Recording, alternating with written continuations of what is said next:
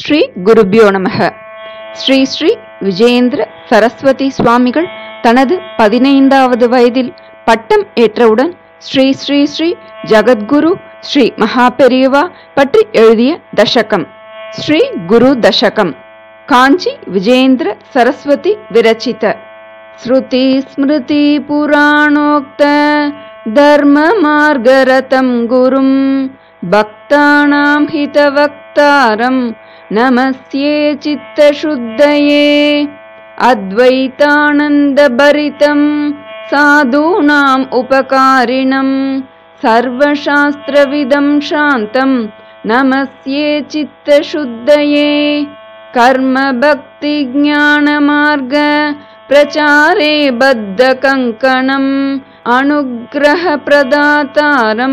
नमस्ये चित्तशुद्धये भगवत् भगवत्पादपादाब्ज विनिवेशितचेतसः।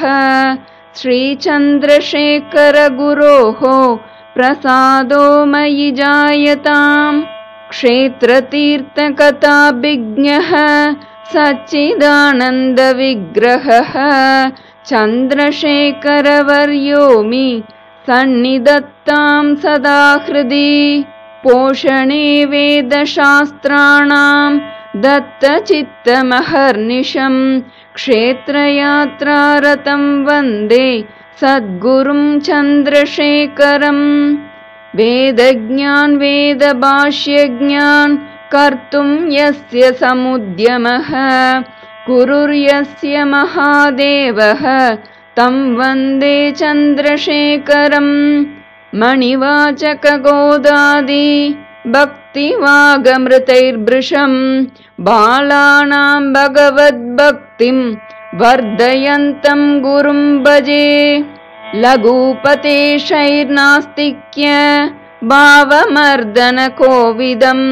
शिवं स्मितमुखं शान्तं प्रणतोऽस्मि जगद्गुरुं विनयेन प्रार्थयेऽहं विद्यां बोधय मे गुरो मार्गमन्यं न जानेऽहं भवन्तं शरणं गतः।